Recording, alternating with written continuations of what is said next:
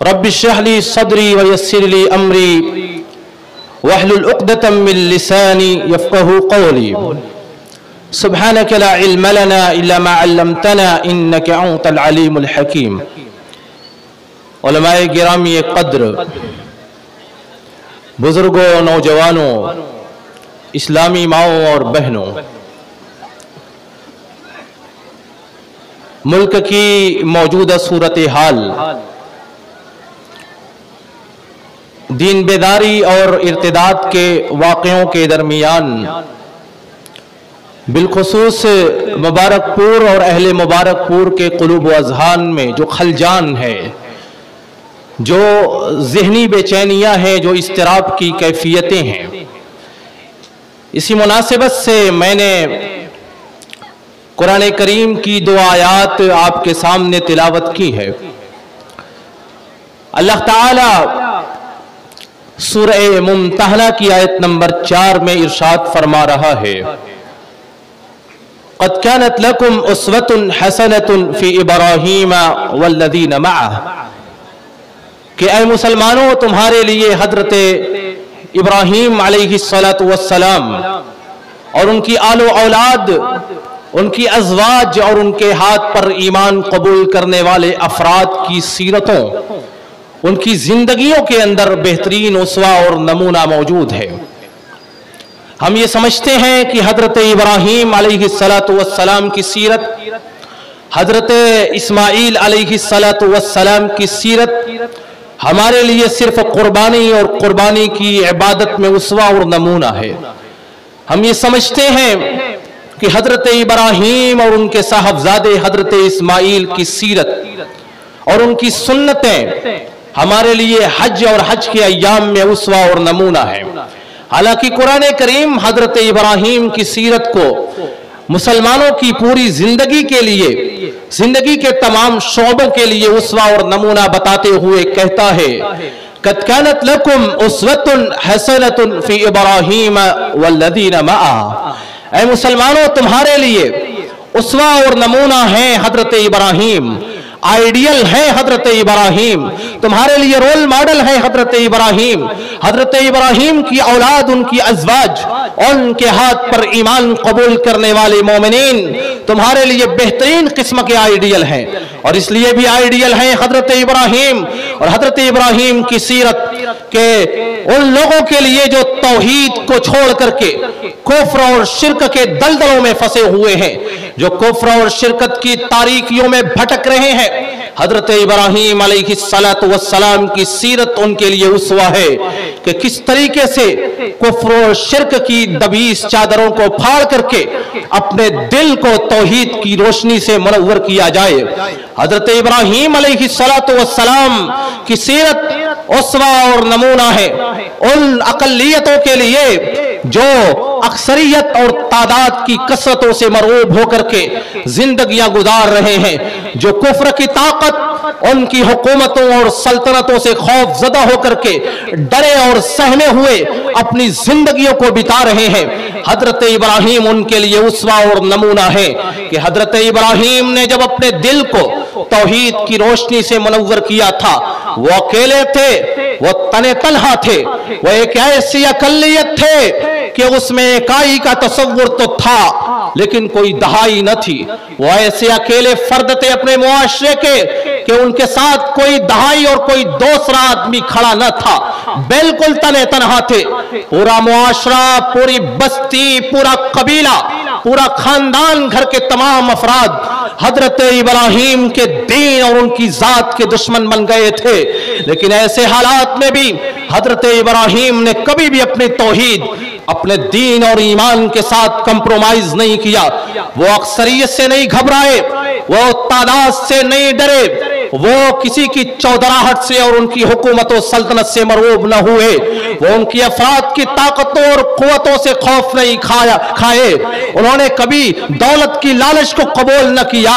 वो किसी की मोहब्बत के झांसे में गिरफ़्तार होकर के उन्होंने कभी भी अपने दीन और ईमान को छोड़ने का इरादा तक नहीं किया।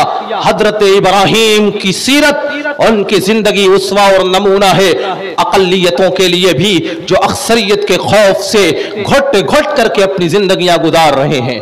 हज़रत इब्राहिम की सीरत उनकी पूरी ज़िंदगी उसवा और नमूना है उन लोगों के लिए जो मसाइब आलाम में और रब की जानब से आजमाइशों में गिरफ़्तार है कि हज़रत इब्राहिम की सीरत उठा करके आप देख लें कि अल्लाह ताला ने किस कदर आजमाइशों में उन्हें मुबतला किया, कितने इम्तिहान से उन्हें गुजारा गया, कितनी मुसीबतें और तकलीफें उनके ऊपर आई, लेकिन वो बंदा अपने ईमान और तोहीद के ऊपर डटा रहा। हज़रत इब्राहिम अपने ईमान और तोहीद के ऊपर डटे रहे और सब्र के साथ सारे आजमाइशों में वो कामयाब और रब के सारे इम्तिहान के ऊपर और आजमाइशों के ऊपर खड़े उतरे। हज़रत इब्राहिम की सीरत उसवा और नमूना है। उन लोगों के लिए जो मसाइब आलाम और आजमाइशों में मुबतला हैं। हज़रत इब्राहिम की सीरत और उनके बेटे हज़रत इस्माइल की पूरी ज़िंदगी उसवा और नमूना है उन औलादों के लिए, उन नौजवानों के लिए, जिनके वालदेन अभी बाहयात और ज़िंदा व सलामत हैं कि किस तरीके से अपने वालदेन की एतात और फर्माबरदारी की जाए और उनके साथ हुस्न सलूक किया जाए, किस तरीके से उनकी हर जायज़ बातों के सामने सर तस्लीम खम कर लिया जाए। हज़रत इब्राहिम के बेटे, हज़रत इस्माइल की सूरत, की सीरत में ऐसे नौजवानों के लिए और हमारी नस्लों के लिए बेहतरीन उसवा और नमूना मौजूद है। हज़रत इब्राहिम की सीरत, उसवा और नमूना है उन वालदेन के लिए कि जिनको अल्लाह ताला ने औलाद की नेमत से नवाजा है कि किस तरीके से अपनी औलाद की तरबियत की जाए, किस तरीके से उनकी परवरिश और पर्दाख्त की जाए, कैसी तालीम और कैसी तरबियत उनकी दी जाए कि वो हमारे एताद गुजार और फरमा बरदार बन जाए, वो मुत्तकी और परहेजगार बन जाए, वो रब के एताद गुजार और रब के शुक्र गुजार बन जाए। हज़रत इब्राहिम की सीरत में ऐसे वालदेन के लिए भी उसवा और नमूना मौजूद है कि अपने बेटों की किस तरीके से, अपनी नस्ल और औलादों की किस तरीके से तरबियत की जाए। हज़रत इब्राहिम सलाम ने अपनी नस्लों की किस तरीके से तरबियत की थी? अपने बेटे हज़रत इब्राहिम की कैसी तरबियत की थी? हज़रत इसहाक सलाम की कैसी तरबियत की थी कि अल्लाह ताला ने हज़रत इस्माइल को भी उनके तकवा और परहेजगारी की बुनियाद पर हज़रत इब्राहिम की बेहतरीन तरबियत के नतीजे में हज़रत इस्माइल को भी नबी और पैगंबर बनाया गया। हज़रत इसहाक को भी नबी और पैगंबर बनाया गया। हज़रत इब्राहिम की तरबियत में वो कौन सी तासीर थी? किस कदर उनकी नस्ल मुत्तकी और परहेजगार बनी कि अल्लाह ताला ने उनकी नस्लों के तकवे को कबूल किया, उनकी परहेजगारी को कबूल किया और उनके तकवा और परहेजगारी की बुनियाद पर अल्लाह ताला ने हज़रत इब्राहिम की पूरी नस्ल में नबूत और रसालत का एक ऐसा सिलसिला जारी किया जो सिलसिला आखिरी नबी जनाब मोहम्मद वसल्लम से आ, तक आकर के रुकता है। कुरान करीम में जिन अंबिया कलाम मस्कूर है हज़रत इब्राहिम के बाद जितने नबी और पैगंबर आए हैं वो सारे के सारे हज़रत इब्राहिम के तरबियत याफ्ता उनकी नस्ल से नबी और पैगंबर बन करके आए हैं। हज़रत इब्राहिम को अल्लाह ने रसूल बनाया उनके तरबियत याफ्ता उनके बेटे हज़रत इस्माइल को नबी बनाया गया उनके तरबियत याफ्ता बेटे हज़रत इसहाक को नबी बनाया गया। हज़रत इसहाक के बेटे हज़रत याकूब को नबी और पैगंबर बनाया गया। हज़रत याकूब के बेटे हज़रत यूसुफ सलाम को नबी और पैगंबर बनाया गया। हज़रत याकूब और यूसुफ के बाद हज़रत इब्राहिम की जो नस्लें आगे जारी होती है, उसी नस्ल से हज़रत सुलेमान इब्न दाऊद को, हज़रत सुलेमान को भी नबी, हज़रत दाऊद को भी नबी और पैगंबर बनाया गया। उसी नस्ल से हज़रत यहिया और हज़रत जकरिया भी आते हैं। हज़रत यहिया और जकरिया को भी नबी और पैगंबर बनाया गया। उसी नस्ल से हज़रत मूसा और हारून भी आते हैं। हज़रत मूसा और हारून को भी नबी और पैगंबर बनाया गया। उसी नस्ल से हज़रत ईसा और रसूल पाक सल्लल्लाहु अलैहि वसल्लम भी आते हैं। हज़रत ईसा को और रसूल पाक सल्लल्लाहु अलैहि वसल्लम को रसूल और पैगंबर बनाया गया। उठाइए सन तिरमिजी की रिवायत। रसूल अकरम सल्लल्लाहु अलैहि वसल्लम हज़रत इब्राहिम की तरबियत याफ्ता नस्ल हज़रत इस्माइल की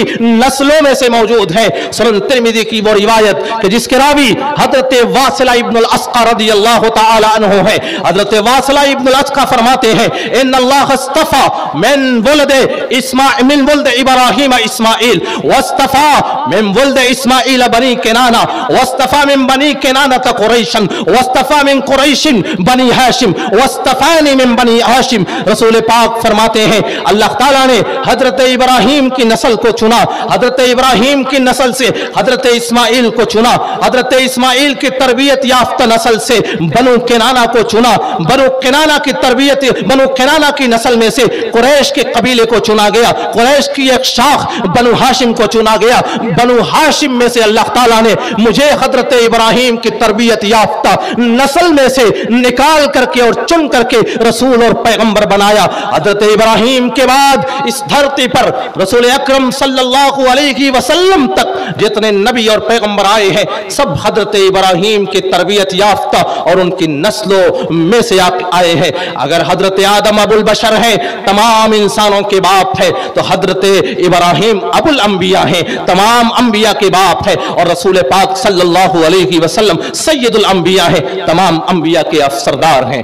इस कदर उनकी तरबियत में तासीर थी। उन्होंने अपनी नस्लों की कैसी तरबियत की थी कि अल्लाह ताला ने उनकी नस्लों को नबूत और रिसालत के लिए मुंतखब कर दिया। वो कैसी तरबियत थी कि दुनिया की टॉप थ्री मसाजिद, दुनिया की सबसे अफजल तीन मस्जिदें, जिनका तस्करा करते हुए रसूल अकरम सल्लल्लाहु अलैहि वसल्लम ने फरमाया कि इन तीन मस्जिदों के अलावा इन तीन मस्जिदों के अलावा सवाब की नीयत से और इबादत की नीयत से किसी और मस्जिद के लिए रखते सफ़र और सामान्य सफ़र बात करके सफ़र करना और उसी मकसद से सफ़र करना जायज़ और दुरुस्त नहीं है। उठाइए सही बुखारी और सही मुस्लिम की वो रिवायत जिसके रावी हज़रत अबू हुरैरा रदी अल्लाह तआला है। हज़रत अबू हुरैरा फरमाते हैं, रसूल अकरम सल्लल्लाहु अलैहि वसल्लम ने इरशाद फरमाया, ला तुशद्दु रिहाल इल्ला इला सलासत मसाजिदिन। मस्जिदुल हराम व मस्जिदी हादा व मस्जिदुल अक्सा, के तीन मस्जिदों के अलावा सवाब की नीयत से, इबादत की नीयत से, किसी और मस्जिद की तरफ़, किसी और मकाम की तरफ़ सवाब हासिल करने के मकसद से सफ़र करना और बाकायदा सफ़र करना जायज़ और दुरुस्त नहीं है। वो तीन मस्जिदें कौन सी हैं? रसूल पाक फरमाते हैं, मस्जिद हराम, मस्जिद नबवी और मस्जिद अक्सा। इन तीन मस्जिदों के के लिए सफ़र करना, सवाब की नीयत से इस्लाम में बाई से इबादत है और बाई से सवाब है। और इन तीन मस्जिदों की फजीलत को बयान करते हुए रसूल पाक सल्लल्लाहु अलैहि वसल्लम ने क्या इरशाद फरमाया? उठाइए मुस्नदुल बज़ार की और मोजम तबरानी की वो रिवायत कि जिसके रावी हज़रत अबू दरदा रदी अल्लाह अन्हु है। हज़रत अबू दरदा फरमाते हैं, रसूल अकरम सल्लल्लाहु अलैहि वसल्लम ने इरशाद फरमाया, अस्सलातु अस्सलातु बिल मस्जिदिल हराम बेमियत अल्फ सलात। कहा कि मस्जिद हराम में नमाज़ अदा करना, दूसरी मस्जिदों के मुकाबले में एक लाख नमाज़ अदा करने का सवाब मिलता है। वह सलातो बेमस्जिदी हादा बे अल्फे सलातिन। मेरी मस्जिद मस्जिद नबवी में नमाज़ अदा करना, दूसरी मस्जिदों के मुकाबले में एक हज़ार गुना ज़्यादा सवाब मिलता है। वह सलातो बिल मस्जिद अक्सा मस्जिद अक्सा में नमाज़ अदा करना बेखम से मेत सलातिन। दूसरी मस्जिदों के मुकाबले में पाँच सौ नमाजों के अदा करने का सवाब, मस्जिद अक्सा में नमाज़ अदा करने के सवाब के पाँच सौ गुना ज़्यादा है। इस तरीके से रसूल पाक सल्लल्लाहु अलैहि वसल्लम ने इन तीन मस्जिदों की दो तरीके से फजीलत बयान की। एक फजीलत यह है कि इन तीन मस्जिदों की इनमें नमाज़ पढ़ना ज़्यादा अजर सवाब का बाइस है। अगर एक तरफ़ पाँच सौ नमाज़, एक हज़ार नमाज़ और एक लाख का सवाब मिलता है तो दूसरी तरफ़ इन मस्जिदों की तरफ़ बतौर सवाब के जियारत करने के लिए सफ़र करना भी बाई से अजर सवाब है। और ये तीनों मस्जिदें किन की तामीर करदा है? किन की तजदीद करदा है? हज़रत इब्राहिम और हज़रत इब्राहिम की नस्ल की तामीर करदा।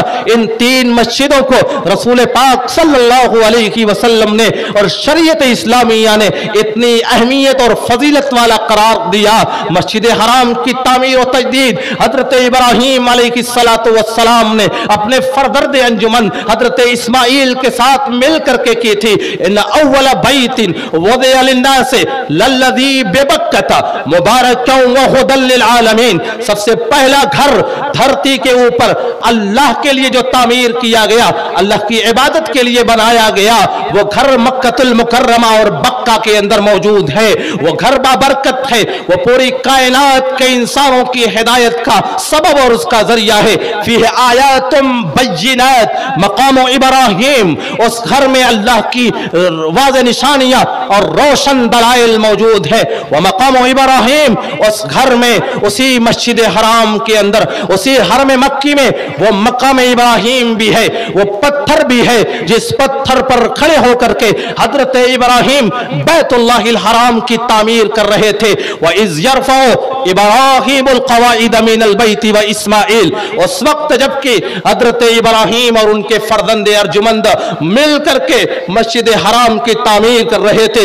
उनकी दीवारों को बुलंद कर रहे थे। अरब के उस सहरा में, उस तपते हुए सहरा में, उस रेगिस्तानी सरजमीन के ऊपर, जहाँ पर इंसानों का नामो निशान भी मौजूद न था, उस मक्कतुल मुकर्रमा की सरजमीन के ऊपर, जहाँ आबादी नहीं थी, अभी कबाइल आबाद नहीं हुए थे। हज़रत इब्राहिम और इस्माइल मिल करके खाने काबा मस्जिद हराम की तामीर कर रहे हैं। वह तात गुजार बेटा, अपने वालिदे गिरामी की का तामुन करते हुए अपने कंधों के ऊपर पत्थर लाद करके लाता है। हज़रत इब्राहिम उसी पत्थर पर मकाम इब्राहिम के ऊपर खड़े होकर के खाने काबा की दीवारों को बुलंद कर रहे हैं। बेटा एक बार भी नहीं पूछता है, वालिद गिरामी, अरब की इस तपती हुई सहारा में, इस रेगिस्तानी इलाके के अंदर, जहाँ भी आबादी भी नहीं है, जहाँ भी कबाइल भी आबाद नहीं हुए हैं, आप बैतुल्लाह हराम। आप अल्लाह के इस घर को किस मकसद के लिए तामीर कर रहे हैं? अगर हमारी नस्लें होती तो वो ये कहती कि ये बुढ़ा सठिया गया है,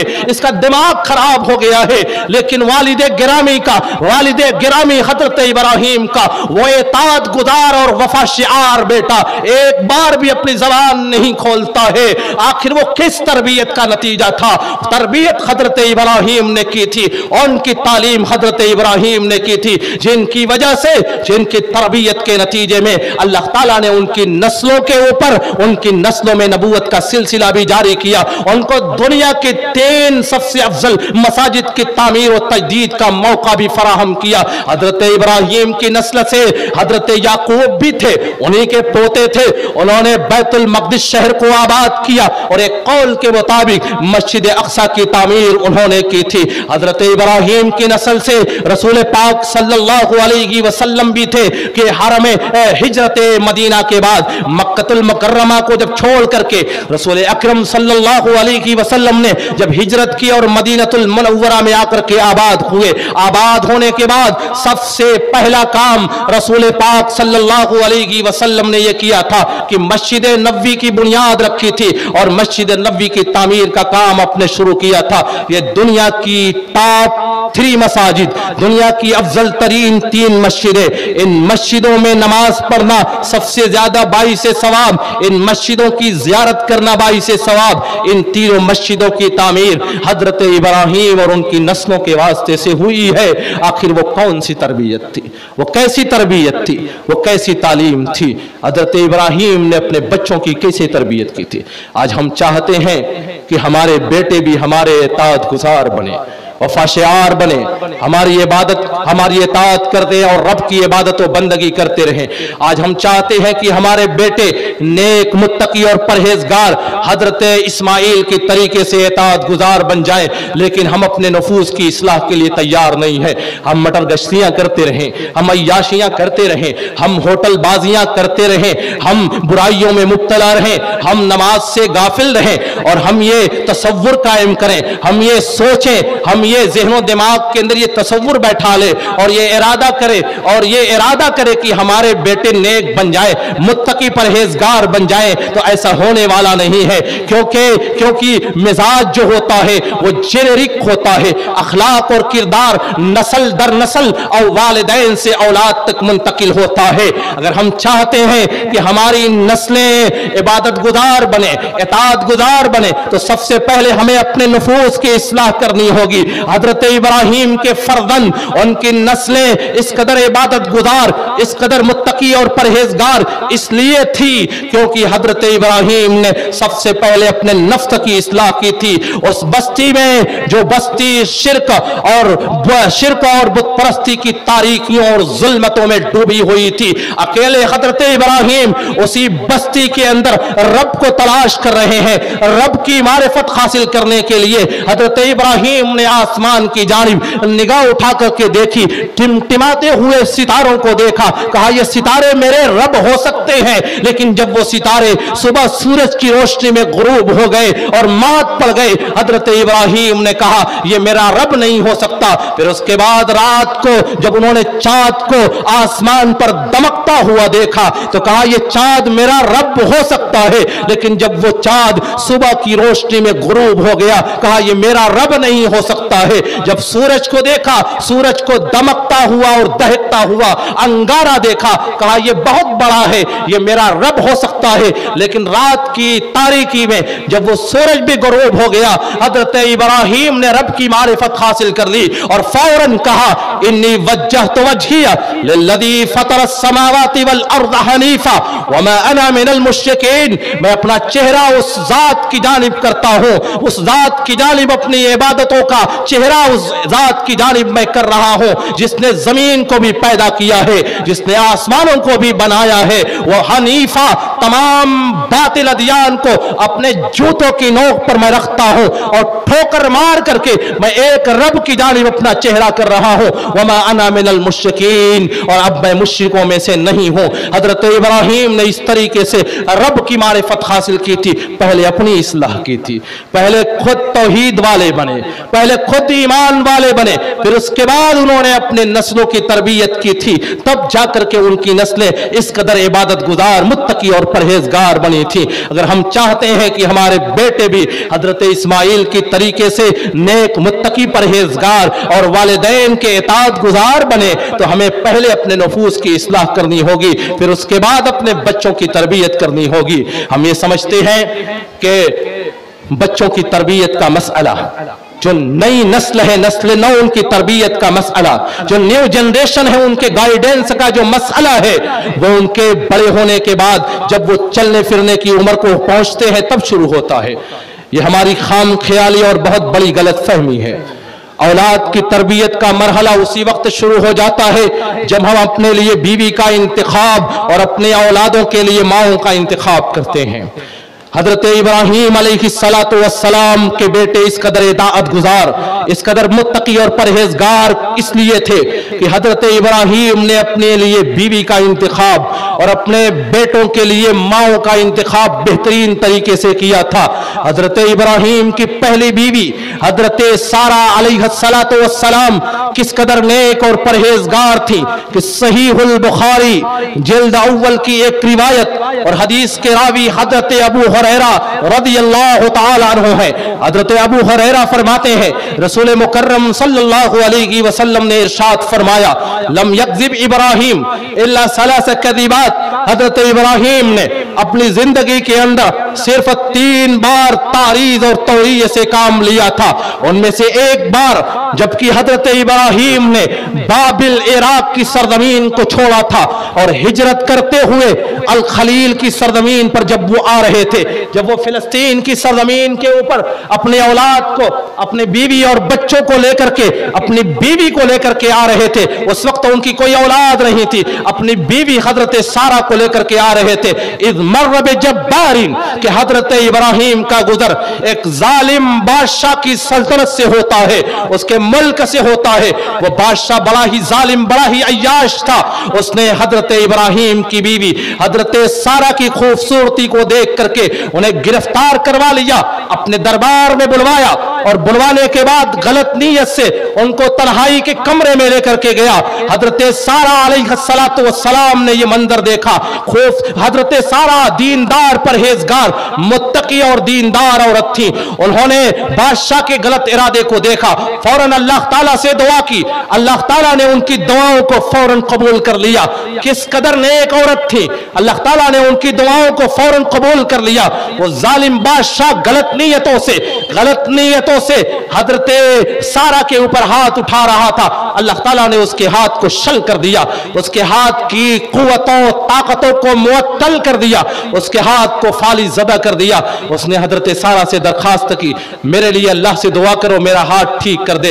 हज़रत सारा ने दुआ की, अल्लाह ने उसका हाथ दुरुस्त कर दिया। सही बुखारी की रिवायत में आता है, दोबारा उसने बुराई के इरादे से अपने हाथ को बढ़ाया।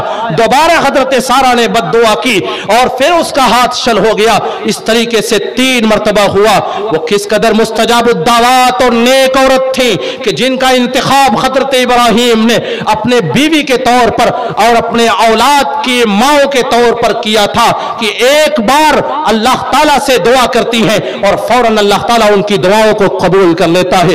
दुआ करती है, अल्लाह ताला फ़ौरन दुआ को कबूल करके उसके हाथ को दुरुस्त कर देता है। और फिर उसके बाद उसी रिवायत में आता है, वो बादशाह हज़रत सारा के अखलाक से, उनके किरदार से, उनकी इफ़त पाक दामनी से और उनकी दुआ की तासीर से इस कदर मुतासर हुआ था कि उसने हज़रत सारा को एक बादी दी थी। जिसका नाम हज़रत हाजर था चुनानचे हज़रत हज़रत सारा का बयान है। वो कहती हैं, कफल्लाह यदल काफिर व अखदम हाजरा।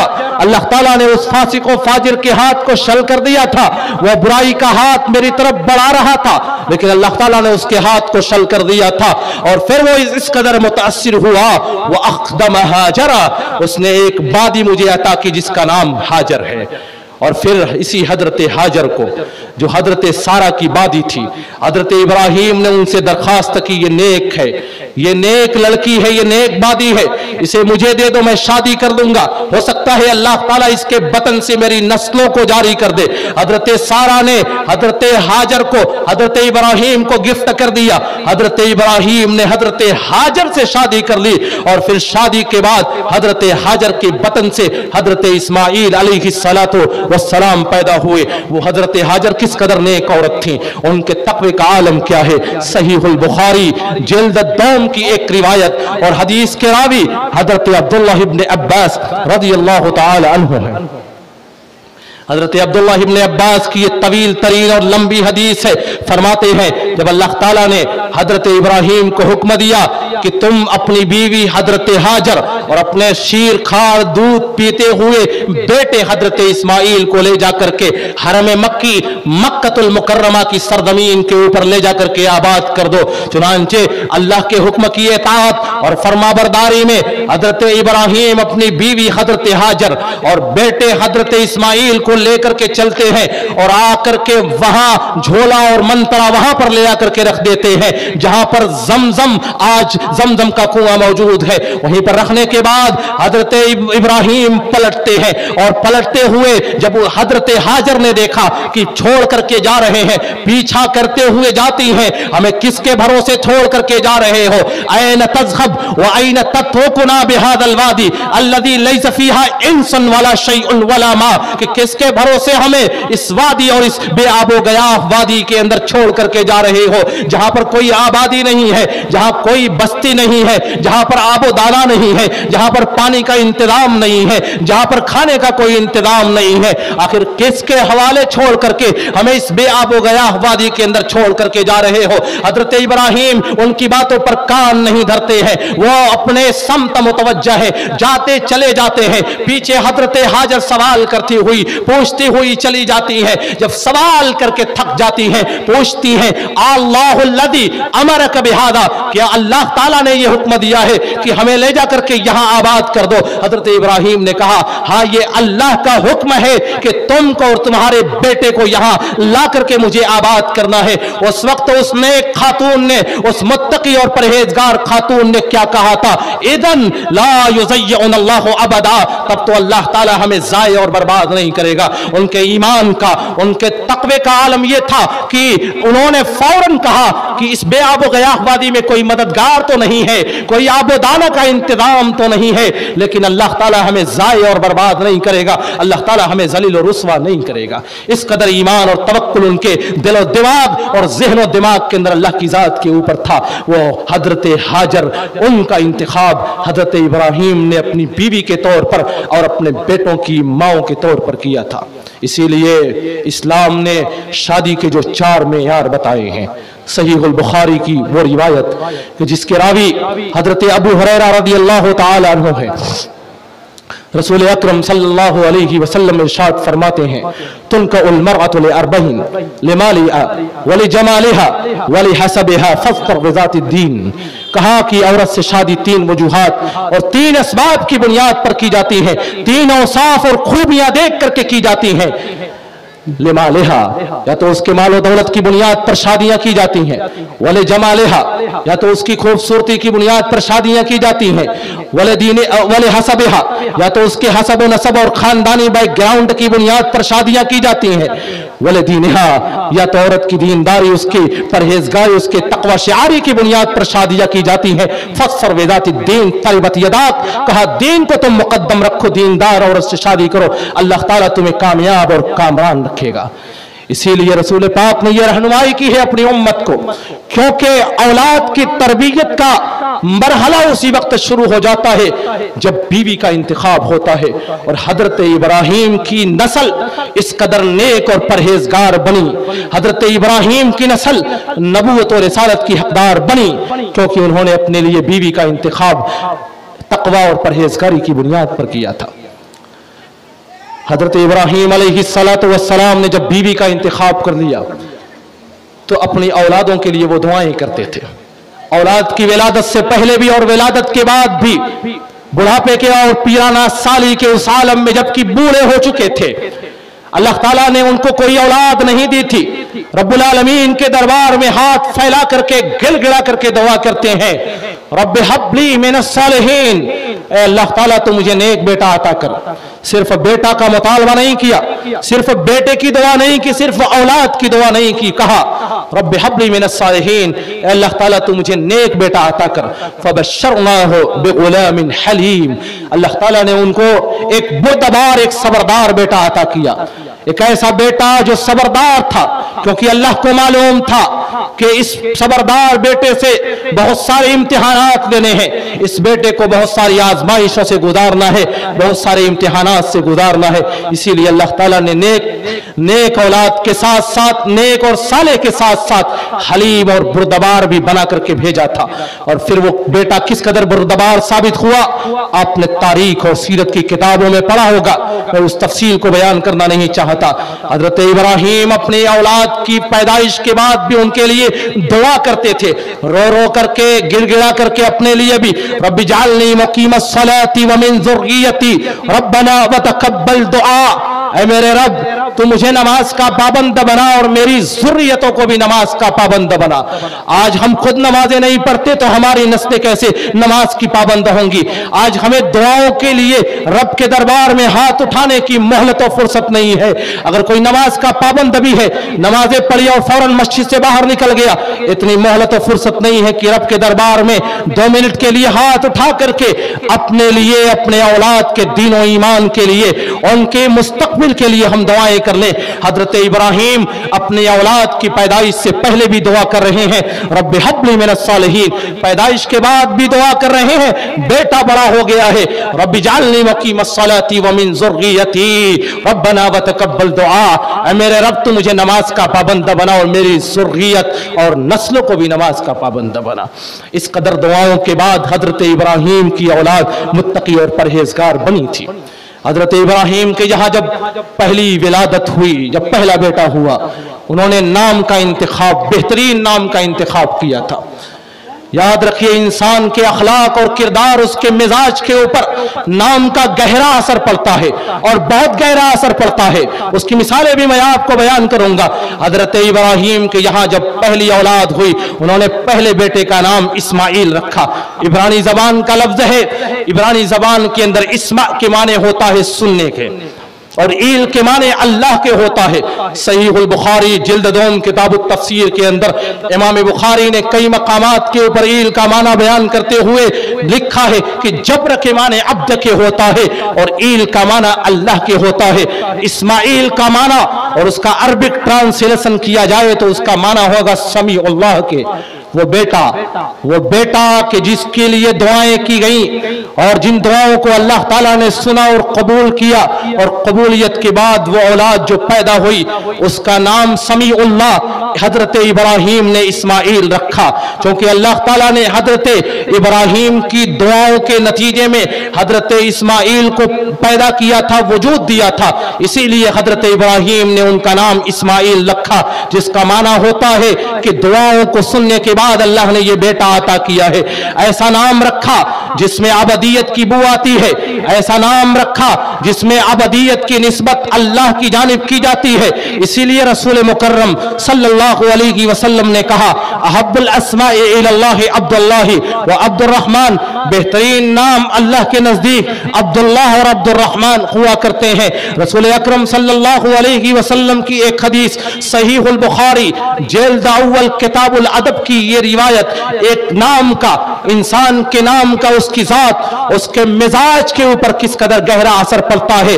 हदीस के रावी, हज़रत सईद इब्दुल मुसैब हज़रत सईद इब्दुल मुसैब अलैह, हज़रत सईद इब्ने मुसैब अपने वालिद गिरामी मुसैब इब्ने हजन से रिवायत करते हैं। वो अपने वालिद गिरामी, हज़रत हजन से रिवायत करते हैं। हज़रत हजन रसूल पाक सल्लल्लाहु अलैहि वसल्लम के सहाबी हैं। दरबार नबी में हाजिर होते हैं। अल्लाह के रसूल सल्लल्लाहु अलैहि वसल्लम ने पूछा कि आपका नाम क्या है? तुम्हारा नाम क्या है? हज़रत हजन ने कहा, मेरा नाम हजन है। हजन के माने सख्ती के होता है, हजन के माने तशद के होता है, हजन के माने सख्ती के हुआ करता है। रसूल पाक ने कहा यह नाम तुम्हारे लिए मुनासिब नहीं है, बल अंत सहल, बल्कि तुम्हारा नाम सहल होना चाहिए।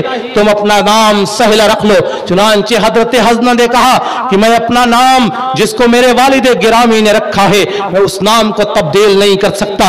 ये मेरे वालिद की पहचान, ये मेरे वालिद की निशानी है। ला उगैर इसमन सम्मानी है अभी, जिस नाम को मेरे बाप ने रखा है, मैं उस नाम को तब्दील करने वाला नहीं हूँ। उन्होंने नाम चेंज नहीं किया, बराबर वो नाम उनके साथ पुकारा जाता रहा। नतीजा ये है, हज़रत हजन के पोता, जो किबार ताबेन में से है।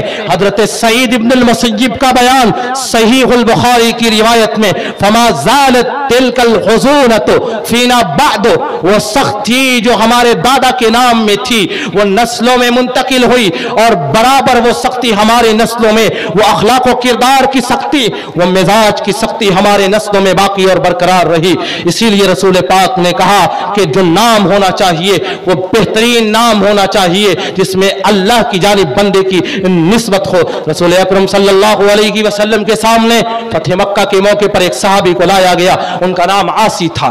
आसी का माना नाफरमान के होता है। अल्लाह के रसूल वसल्लम ने फ़ौरन नाम चेंज किया और कहा कि तुम्हारा नाम आज से मोती होगा। मोती का माना फर्मा बरदार के होता है। सही मुस्लिम की एक दूसरी रिवायत, एक औरत रसूल पाक सल्लल्लाहु अलैहि वसल्लम के पास आती है, जिनका नाम आसिया था, जिसके माने ना फरमान के होता है।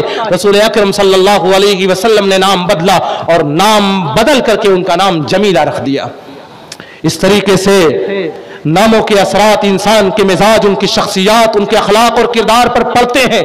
इसीलिए हज़रत इब्राहिम ने अपने बेटे का नाम इस्माइल रखा था। और एक कदीम जमाने से यह रस्म मुसलमानों में चलती आ रही थी। कि नाम अंबिया और साहबा के नाम पर रखा जाए। लेकिन जब से फ़िल्मों और सीरियलों का दौर चला है, हमने अपने बेटों और बेटियों का नाम फिल्मी एक्टरों और उनके किरदारों और सीरियलों के किरदारों के नाम पर रखना शुरू कर दिया।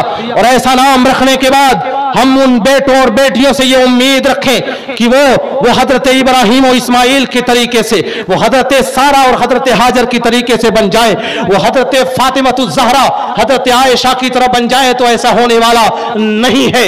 हम जिनको रोल मॉडल मान करके जिनको आइडियल मान करके हम अपने बेटों और बेटियों का नाम रखते हैं ज़ाहिर सी बात है कि उन नामों के असरात हमारे औलादों के, के मिजाज के ऊपर उनके अखलाक के ऊपर पड़ने वाला ज़रूर है। कदीम जमाने से यह रिवाज था। ये तरीक़ाकार था कि लोग अपना नाम अंबिया के नामों पर, अंबिया की नस्लों के नामों पर रखा करते थे। रसूल अक्रम वसल्लम की एक हदीस, जब नजरान का वफ्द दरबार नबवी में आया था और आने के बाद नजरान के मजूसियों ने रसूल पाक के सामने सबसे पहला एतराज़ जो रखा था वह एतराज़ ये था कि आपके कुरान में गलती है, आपके कुरान में गलती है।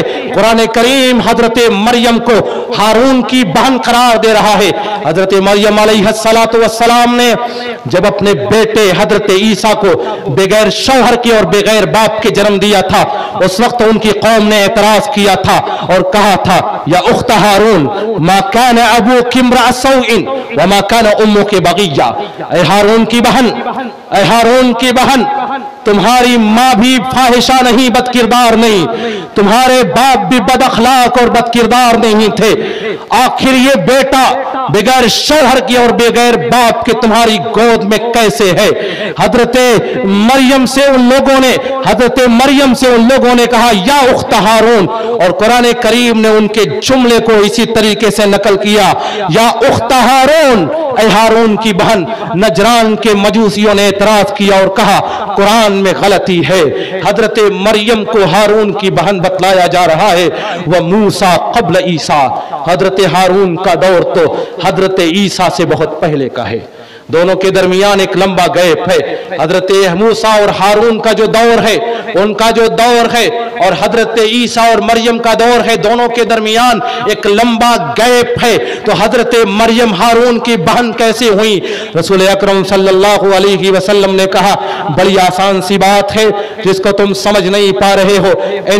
कानु अपना अहम बेअस्माए ये वो नस्लें हैं, ये वो लोग थे जो अपनी औलादों और अपने नस्लों का नाम, अपने अंबिया के नाम पर रखते थे। हज़रत हज़रत मरियम के वालिद गिरामी, हज़रत इमरान ने अपने बेटे हारून का नाम, हज़रत मूसा के भाई, हज़रत हारून के नाम को देख करके रखा था। इन कानू यसमोन अंबिया अबना अहम अहिम एक दौर था कि जो लोग, वो लोग अपने बेटों का नाम, अंबिया और सहाबा के नाम पर रखा करते थे। बहरहाल बताने का मकसद ये है कि आज हम अपने बेटों और बेटियों का नाम फिल्मी एक्टरों के नाम पर रखते हैं। ज़ाहिर सी बात है नाम के असरात तो उनके मिजाज और किरदार के, के अंदर मुंतकिल होना ज़रूरी है। हज़रत इब्राहिम सलाम ने अपनी औलाद की तरबियत के लिए जो एक बड़ा कारनामा अंजाम दिया एक बड़ी कुर्बानी थी वो थी माहौल की फराहमी। उन्होंने अपनी औलाद को कुफ्र और शिरक के माहौल में तरबियत नहीं दी उन्होंने अपनी औलाद और अपनी नस्लों को बुराई और फहाशी के माहौल में तरबियत नहीं दी। उन्होंने अपनी नस्लों को बुराई और फहाशी के माहौल में परवान नहीं चढ़ाया, बल्कि जब हज़रत इब्राहिम सलाम की यहाँ औलादे हुई। अपनी एक बीवी हज़रत सारा को और उनके बेटे हज़रत इसहाक को फिलस्तीन के शहर अल खलील में ले जाकर के आबाद किया। बैतुल मुकद्दस की सरजमीन के पास ले जाकर के आबाद किया। वो सरजमीन की जिसके बारे में कुरान कहता है सुबहान असरा बेअब्दिही लैलम मिनल मस्जिदिल हरामी इलल मस्जिदिल अक्सल्लदी बारकना हौलहु। बाबरकत है जात कि जिसने अपने अपने बंदे रसूल मुकर्रम सल्लल्लाहु अलैहि वसल्लम को रातों रात मस्जिद हराम से उठा करके मस्जिद अक्सा की सैर कराई अल्लदी बारकना हौला। वो मस्जिद अक्सा, वो बैतुल मकदिस की सरजमीन, के जिसके इर्द गिर्द हमने खैर और बरकतों को रखा है। उसी खैर और बरकतों वाले इलाके में हज़रत इब्राहिम ने अपने बेटे हज़रत इसहाक को और उनकी माँ हज़रत सारा को आबाद किया। और हज़रत इब्राहिम ने अपने दूसरे बेटे और दूसरी बीवी हज़रत हाजर और हज़रत इस्माइल को ले जाकर के हरम मक्की की सरजमीन मुकदस सरजमीन के ऊपर ले जाकर के आबाद किया। और आबाद करने के बाद दुआ की रबना इन्नी अस्कन तुम जुर्रियती बेवादिन गैर जरइन इन दबैती कल मुहर्रम रब्बना मुसला ऐ मेरे रब मैंने अपनी नस्लों को तेरे मुहर्रम घर तेरे बैतुल्लाहिल हराम हरम मक्की के पास ले जाकर के मैंने अपनी औलाद को ले जाकर के बसा दिया है और इसलिए बसाया है ताकि वो इस घर को आबाद करें ले युकीम इस घर में आकर के नमाज़ अदा करें इस घर को आबाद करें ऐसे मुकदस सरजमीन के ऊपर, ऐसी मुकदस सरजमीन के ऊपर तरबियत पाने वाली नस्लें अगर नेक और परहेजगार न बने तो हम नेक और परहेजगार बनेंगे। उनकी नेकी और परहेजगारी की हिकमत यही है कि हज़रत इब्राहिम ने तरबियत के तमाम पहलुओं का, की रियायत और तमाम पहलुओं का ख्याल किया था। आज हम अगर घर बनाते हैं, आज हम अपना मकान अगर बनाते हैं, ज़मीन और जायदाद खरीदते हैं तो इरादा यह होता है कि हमारा घर बाज़ार से करीब हो। हमारा घर हमारा मकान मार्केट से करीब हो, हमारा घर रोड से करीब हो, हमने कभी ये नहीं सोचा कि हमारा घर हमारा मकान मस्जिद से करीब हो। रसूल पाक सल्लल्लाहु अलैहि वसल्लम के ज़माने में बनु सलमा अवाली के इलाकों में आबाद थे, मदीनतुल मनव्वरा के बॉर्डर का इलाका। मदीनतुल मनव्वरा के बॉर्डर का इलाका बनु सलमा वहाँ आबाद थे। बनु सलमा के अफराद को पता चला, मस्जिद नबी के पास ज़मीन खाली पड़ी है, फ़ौरन दरबार नबी में हाजिर हुए। सही बुखारी की रिवायत में आता है। अल्लाह के रसूल सल्लल्लाहु अलैहि वसल्लम से कहा, अल्लाह के रसूल, हम अवाली के इलाके को छोड़ करके मस्जिद नबी के करीब होकर के आबाद रहना चाहते हैं। मस्जिद नबी के करीब आकर के आबाद होना चाहते हैं। रसूल मुकर्रम सल्लल्लाहु अलैहि वसल्लम ने हिकमत के पेश नज़र कहा, मकानकुम तुक्तब आसारकुम। ए बनु सलमा के लोगों, तुम अपने अवाली के इलाकों में आबाद रहो, क्योंकि मेरी हिकमत यह है कि मदीने के जो बॉर्डर का इलाका है उस बॉर्डर के ऊपर तुम्हारी तैनाती होती रहे मदीने के बॉर्डर की हिफाजत होती रहे। अगर तुम मस्जिद से करीब होने की नीयत से यहाँ आकर के आबाद हो जाओगे तो तुम मस्जिद के पड़ोसी तो बन जाओगे लेकिन मदीने के ऊपर हमेशा दुश्मनों का खतरा बना रहेगा। मैं ये चाहता हूँ कि अवाली के इलाके में बनु सलमा के आब, लोग आबाद रहे ताकि मदीने का बॉर्डर महफूज रहे। रसूल पाक के साहबा की यह ख्वाहिश होती थी कि वो मस्जिद नबी के करीब होकर के आबाद रहे। लेकिन हमारी ख्वाहिशें ये है कि हम रोड के करीब आबाद हो। हम बाजारों और मार्केटों के करीब हमारा घर हो। हम शोर और शराबों के अंदर जिंदगियाँ गुजारना तो चाहते हैं, लेकिन मस्जिद की आवाजों के साय में हम अपने औलादों की तरबियत नहीं करना चाहते। और फिर भी ये सोचते हैं कि हमारी नस्लें इतात गुजार बने, तोहीद और ईमानदार बने। हमारी नस्लें रब्बुल आलमीन के लिए इबादत गुजार और परहेजगार बने तो ऐसा होने वाला नहीं है। अहब्बुल बिलाद इलल्लाही, अहब्बुल बिलाद इलल्लाह मसाजिदुहा, व अबगजुल बिलाद इलल्लाही अस्वाकुहा। अल्लाह के नज़दीक सबसे बेहतरीन जगह अल्लाह की मस्जिदें हैं। हम बेहतरीन जगहों को छोड़ करके उन जगहों पर आबाद होते हैं, जिनके बारे में रसूल मुकर्रम ने कहा अबगजुल बिलाद इलल्लाही अस्वाकुहा। अल्लाह के नज़दीक सबसे सबसे मबगूज जगह, सबसे बुग्ज वाली जगह, सबसे ज़्यादा गैज गजब नाजिल होने वाली जगह, वो जगह जहाँ शैतान अपना झंडा गाड़ लेता है, वो जगह बाज़ार है। हम बाजारों में अपना मकान बनाना चाहते हैं, लेकिन मस्जिदों के करीब और मस्जिदों के सायों में ला करके अपनी औलादों को बसाना और तरबियत देना नहीं चाहते। हज़रत इब्राहिम की नस्लें इस कदर ईमानदार इसलिए बनी थी क्योंकि उनकी तरबियत हरम मक्की के जेर साय हुई थी और उनकी तरबियत बैतुल मकदिस की सरजमीन, अंबिया की सरजमीन, फिलस्तीन की सरजमीन के ऊपर हुई थी।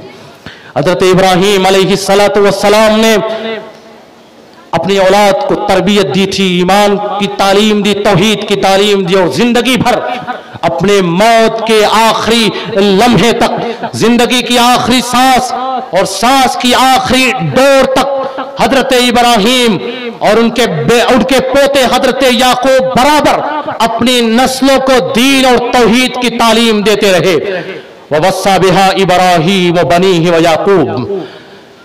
या बनी इन अल्लाहफालकुमुद्दीन फला तमुतुन्न इल्ला व अंतुम हज़रत इब्राहिम ने भी वसीयत की थी उनके पोते हज़रत याकूब ने भी अपनी औलादों और नस्लों को वसीयत की थी और कहा था इन अल्लाहमुद्दीन अल्लाह ताला ने इस दीन को तुम्हारे लिए चुन लिया है। फला इल्ला व अंतुम मुस्लिमोन, सांस की आखिरी डोर तक, ज़िंदगी की आखिरी सांस तक तुम्हें मुसलमान, ईमानदार और तोहीद वाला मुहिद बन करके रहना है। फला इल्ला व अंतुम मुस्लिमोन, तुम्हें मौत ना आए मगर ईमान और इस्लाम और तोहीद की हालत में। और यही नसीहत हज़रत इब्राहिम ने की, यही तालीम हज़रत याकूब ने भी की, और यही तालीम हज़रत याकूब की नस्लों और उनके बाद आने वाले अंबिया ने भी अपने औलादों और अपने नस्लों को की, जिनके नतीजे में उनके बेटे तोहहीद वाले बने, उनके बेटे ईमानदार बने। रसूल अक्रम सल्लल्लाहु वसल्लम ने नस्लों के लिए जो तरबियती निसाब बयान किया, जो तालीम का निसाब बयान किया, आज हम उस निसाब से भी मुँह मोड़ चुके हैं। हमारी ख्वाहिश ये होती है कि हमारा बेटा जैसे ही पढ़ने की उम्र को पहुँचता है, चलने और फिरने की उम्र को, हम अंग्रेज़ी से इतना मरगूब हो चुके हैं, हम मगरबी तहजीब के इस कदर दिलदादा हो चुके हैं कि फ़ौरन कुरान और ईमानियात और रसूल मुकर्रम के फरमान और अहकाम की तालीम और बुनियादी तालीम दिए बगैर हम स्कूल और कॉन्वेंटों और इंग्लिश मीडियम स्कूलों में दाखिल करा देते हैं। फिर नतीजा ये होता है कि बेटा ईमान से भी गाफिल है, कुरान से भी गाफिल है, रसूल मुकर्रम के फरमान से भी गाफिल है और ज़ाहिर सी बात है कि जिसकी तरबियत के अंदर ईमान ही नहीं, जिसके कॉन्सेप्ट में ईमान ही नहीं, जिसके कॉन्सेप्ट में कुरान ही नहीं, जिसकी तरबियत और तालीम में रसूल मुकर्रम का फरमान ही नहीं तो आखिर में जाकर के उसका नतीजा और रिज़ल्ट क्या आना है? इसीलिए रसूल पाक सल्लल्लाहु अलैहि वसल्लम ने अपने असहाब के लिए तालीम का वो निसाब बयान किया था कि इब्ने माजा की वो रिवायत, जिसके रावी हज़रत जुंदब इब्ने अब्दुल्ला रदी अल्लाह तआला है। हज़रत जुंदब बिन अब्दुल्ला फरमाते हैं, कुन्ना नबी सल्लल्लाहु अलैहि वसल्लम व नहनु फितयानुन हजावेरा। हम लोग रसूल पाक सल्लल्लाहु अलैहि वसल्लम के दरबार में हाजिरी दिया करते थे। हम लोग नई उम्र के बिल्कुल नौजवान थे। फतअल्लमनल ईमान। हमने दरबार नबी में हाजिरी दे करके सबसे पहले ईमान सीखा था। सबसे पहले हमने ईमान की तालीम, ईमान के अहकाम उसकी तफसीलों का इल्म हमने हासिल किया था। सुमतअल्लमनल कुरान फिर उसके बाद हमने कुरान की तालीम को हासिल किया था। फजदना भी ईमाना। ईमान और कुरान की तालीम के बाद हमारे ईमान ने मजीद इजाफा हो गया। हमारे ईमान ने मजीद बढ़ोतरी हो गई। ये निसाब था। रसूल पाक सल्लल्लाहु अलैहि वसल्लम का, पहले आप अपने असहाब को ईमान की तालीम देते थे, फिर उसके बाद कुरान की तालीम देते थे, फिर असहाब को सिफारत की और दूसरी जबानों को सीखने की आप इजाज़त देते थे। हज़रत जैद इब्ने साबित फराइज के बहुत ज़्यादा, बहुत बड़े जानकार, हज़रत उबई बिन काब किरात के बहुत बड़े जानकार, हज़रत अब्दुल्ला इब्ने अब्बास कुरान की तफसीर के बहुत बड़े जानकार, आपने अपने असहाब को इबरानी जबान सीखने की भी तालीम और तरकीब दी थी। आपने कुरान और ईमान की तालीम के बाद सहाबा के सामने इल्म के दरवाजों को खोल दिया था। लेकिन आज हम चाहते हैं कि हमारी नस्लें, हमारे बेटे और बेटियाँ ईमानदार बने, ईमान वाली और तोहीद वाले बन जाएँ। लेकिन हम इंग्लिश मीडियम में दाखिल कराएँगे, हम कॉन्वेंटों में दाखिल कराएँगे, हम उन्हें ईमान की तालीम नहीं देंगे, हम उन्हें कुरान की तालीम नहीं देंगे, हम रसूल मुकर्रम के फरमान की और बुनियादी फरमान की तालीम नहीं देंगे। और चाहेंगे कि बेटा हज़रत इस्माइल की तरीके से बन जाए, बेटी हज़रत फातिमा की तरीके से बन जाए तो ऐसा होने वाला नहीं है। हज़रत इब्राहिम सलाम की नस्लों की तरीके से अगर अब आप अपनी नस्ल बनाना चाहते हैं, वैसी कुर्बानियाँ देनी होंगी, अपनी इसलाह करनी होगी। अगर चाहते हैं कि हमारी बेटियाँ हज़रत सारा सलाम की तरीके से बन जाए तो ऐसी अजवाज का इंतखाब करना होगा। वो हज़रत सारा सलाम जब बादशाह के दरबार में थी, गरीबुल वतन थी, अजनबी थी, कोई जानने और पहचानने वाला नहीं था। बाहर दरबार के बाहर हज़रत इब्राहिम खड़े हैं। कमरे में तने तनहा हज़रत सारा है और बादशाह वक्त जालिम हुक्मरा है, जिसकी एक बड़ी लंबी चौड़ी सल्तनत है। अगर चाहती बादशाह को अपने वश में कर करके उसकी सल्तनत की मलका बन सकती थी, दौलत को अपने कदमों में बिछा सकती थी, लेकिन हज़रत सारा ने उसकी दौलतों को भी ठोकर मार दिया। हज़रत सारा ने उसकी सल्तनतों को भी ठोकर मार दिया और उन्होंने सिर्फ़ ईमान की रियायत की कि ये बादशाह काफिर है, ये बादशाह जालिम है, ये बादशाह मुशरिक है। बाहर मेरा शोहर तोहीद वाला और ईमान वाला हज़रत इब्राहिम है, वो मेरा शोहर है। उन्होंने ठोकर मार दिया था। हज़रत सारा ने उनकी उनकी सल्तनत को और उसकी पूरी दौलत को ठोकर मार दिया था। आज हम होते तो ताबे और फरमाबरदार बन जाते। फ़ौरन उसके वश में आ जाते कि दौलतें हमारे कदमों में निछावर हो जाएँगी, सल्तनतें हमारे कदमों में निछावर हो जाएँगी। हम बादशाह का और करीबी बन जाऊँगा, मैं बादशाह का वज़ीर बन सकता हूँ, मैं बादशाह का दरबारी बन सकता हूँ। लेकिन हज़रत सारा, वो इस कदर नेक और परहेजगार थी कि उन्होंने उसकी दौलतों और सल्तनतों को भी ठोकर मार दिया था। रसूल अक्रम सल्लल्लाहु वसल्लम की एक हदीस, एक दो हदीसें मैं बयान करके अपनी बात को ख़त्म करूँगा। आज हम चाहते हैं कि हमारी नस्लें भी ईमानदार बने। इर्तदाद के वाकयात के दरमियान हमारे जहन दिमाग में जो खलजान है, उसका हल यही है कि हम हज़रत इब्राहिम की सीरत को पढ़ें। हज़रत इब्राहिम की सीरत में गौर फ़िक्र करें और तरबियत के जिन पहलुओं को मैंने आपके सामने बयान किया है, इन्हीं पहलुओं के मुताबिक हम अपने बच्चों की तरबियत करें।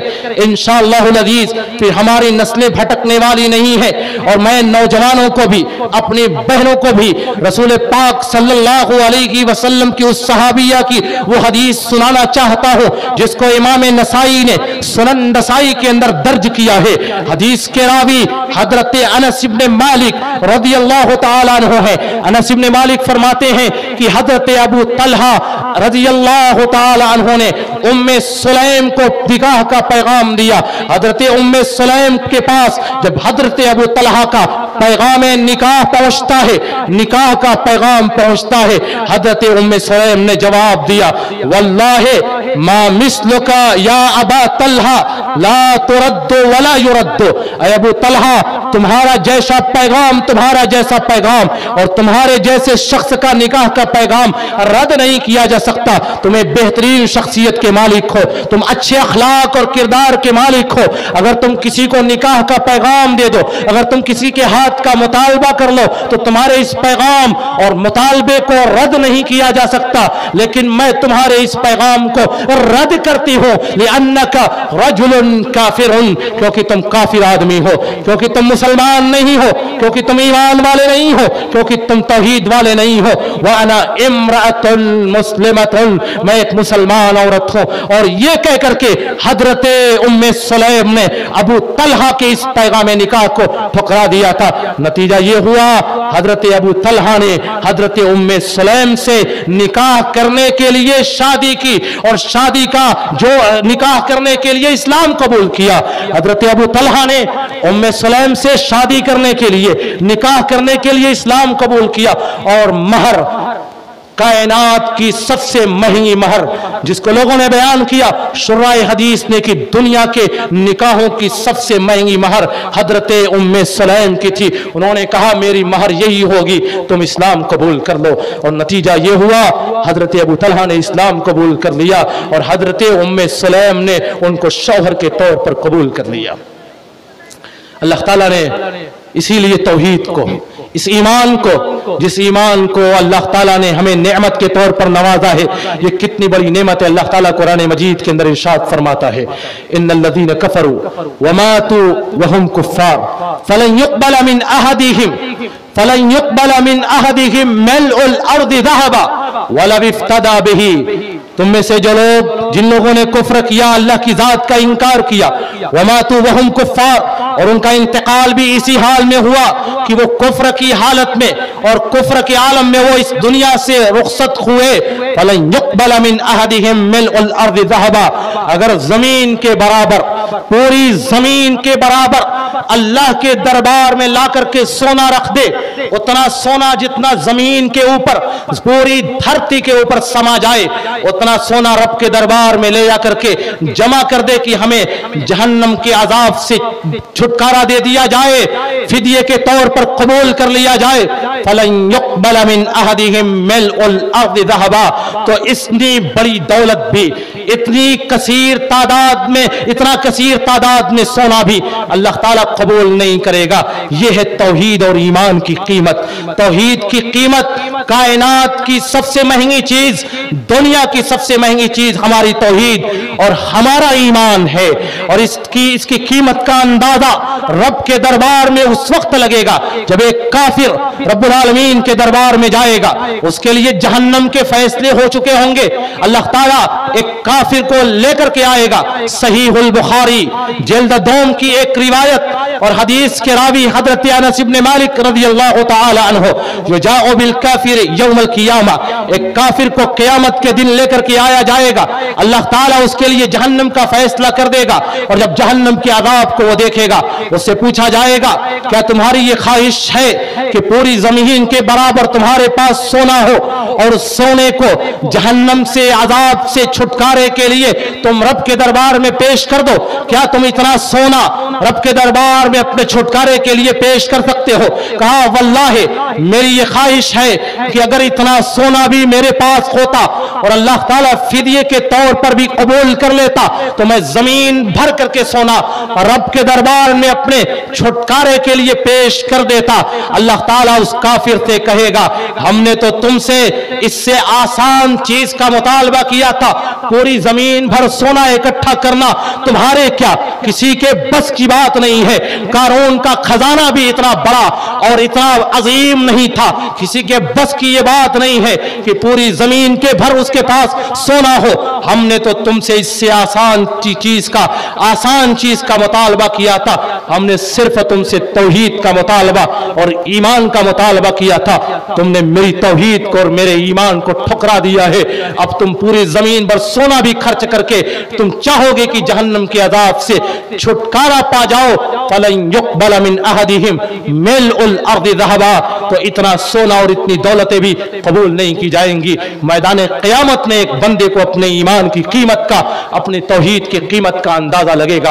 आज जो लोग दीन बेजार हो रहे हैं, हमारी गफलतों की बुनियाद पर, वालदेन की गफलतों की बुनियाद पर, मुआशरे के बातिल रस्मों, रिवाज की बुनियाद पर, मैं उनके सामने रसूल पाक की सिर्फ़ एक हदीस पेश करना चाहता हूँ। अगर मुआरे की गलत रस्में हैं तो फिर रसूल पाक की ये हदीस भी तो है, सही मुस्लिम, जल्द अव्वल की ये रिवायत और हदीस के रावी हज़रत अनस इब अबू सईद खुदरी रदी अल्लाह तहो है।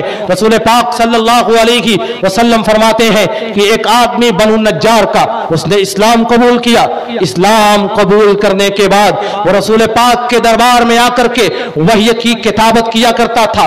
उसने सूरह बकरा और सूरह आल इमरान की तालीम भी हासिल कर ली थी। उसको याद भी कर लिया था। फिर उसके बाद वो इस्लाम को छोड़ करके भाग गया। वो मुसलमानों की जमात को छोड़ करके भाग गया। और जाकर के अहले किताब में शामिल हो गया। काफिरों ने अहले किताब ने उसके मसले को बहुत उठाया, बड़ा हल्ला और शोर मचाया। जैसे आज के इस दौर में शोर और वावेला मचाया जाता है कि तुम्हारी जमात का, तुम्हारे धर्म का एक आदमी, हमारी जमात और हमारे धर्म में दाखिल हो गया है। वैसा ही शोर और हंगामा दौरे नबवी में भी मचाया गया था, लेकिन चंद दिन नहीं गुजरे हैं। अल्लाह ताला ने उस आदमी को, कसम अल्लाह अल्लाह ताला ने उसकी गर्दन को तोड़ दिया, उसे हलाक और बर्बाद कर दिया। काफिरों ने, अहले किताब ने उसके लिए ज़मीन को खोदा। ज़मीन में उसको दफन कर दिया। सुबह जब देखते हैं, ज़मीन ने उसकी लाश को कबूल नहीं किया। लाश ज़मीन के फर्श के ऊपर, ज़मीन के रूह के ऊपर, ज़मीन के ऊपरी हिस्से के ऊपर जलील खार हो रही थी। फिर दोबारा गड्ढा खोदा गया और गड्ढा खोद करके उसकी लाश को दोबारा अहले किताब और काफिरों ने दफन किया। दूसरे दिन सुबह ज़मीन ने फिर उसकी लाश को कबूल नहीं किया। लाश को ज़मीन ने ऊपर फेंक दिया। तीसरे दिन गड्ढा खोदा गया। खोद करके तीसरे दिन भी दफन किया गया। और जब दफन किया, तीसरे दिन भी ज़मीन ने उसकी लाश को कबूल नहीं किया।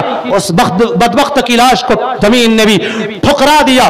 और नतीजा ये हुआ फतर कहो मनबूदा लोगों ने उसको इस तरीके से उसकी लाश को जलील खार करके छोड़ दिया। और चील और कौवे उसकी लाश को नोच रहे थे। ये तो दौरे नबी का वाकया है। आज के जमाने में कोई शिया वक्फ बोर्ड का चेयरमैन भी था, जिसकी जिल्लत रसवाई का आलम हम अपनी निगाहों से देख रहे हैं। और इन मुस्तकबिल में भी हम उसकी जिल्लत खारी के आलम को मुस्तकबिल में भी देखेंगे। और तारीख के औराक में भी कोई हमारी नस्ल पढ़ेंगी कि किसी को मुसलमानों ने इज़्ज़त दी थी। अपने वक्फ बोर्ड का चेयरमैन बनाया था, लेकिन नतीजा यह था कि जिल्लत खारी इज़्ज़त उसे मकसूद नहीं थी।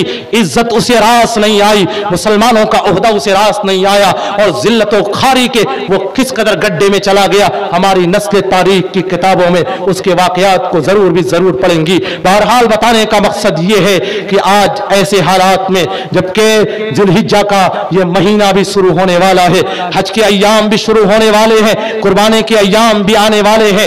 हज़रत इब्राहिम की सीरतों को भी आपके सामने बयान किया जाएगा। मैंने हज़रत इब्राहिम की पूरी सीरत को तो बयान नहीं किया है, बल्कि हज़रत इब्राहिम की सीरत के चुनिंदा वाकयात को, उन वाकयात को जो तरबियत के पहलू अपने अंदर समो करके रखते हैं, उन वाकयात को मैंने आपके सामने बयान किया। हज़रत इब्राहिम की नस्लें इस कदर नेक और परहेजगार क्यों बनी? आखिर तरबियत का उसूल क्या था? उन पूरे उसूलों को मैंने आपके सामने बयान कर दिया है। अल्लाह ताला से दुआ है कि आलमीन तो हमारी नस्लों को भी ईमानदार बना, उन्हें तोहीद वाला बना, उन्हें मुत्तकी और परहेजगार बना। रब्बुल आलमीन तो हमें अपनी औलादों, हमें अपनी नस्लों की उसी तरीके से तरबियत का मौका और तरबियत की तोफीक इनायत फरमा, जिस तरीके से अम्बिया ने अपनी औलादों की तरबियत की थी, जिस तरीके से सहाबा ने अपनी नस्लों की तरबियत की थी, जिस तरीके से हज़रत इब्राहिम ने अपनी औलादों को तरबियत की थी कि अल्लाह ताला ने उनकी तरबियत को कबूल करके उनको नबी और पैगंबर बनाया था। रब्बुल आलमीन तो हमें ऐसी तरबियत की तोफीक दे। आमीन। व आखिर दावाना आलमीन। वसलाम वरहमतुल्लाहि वबरकातुहू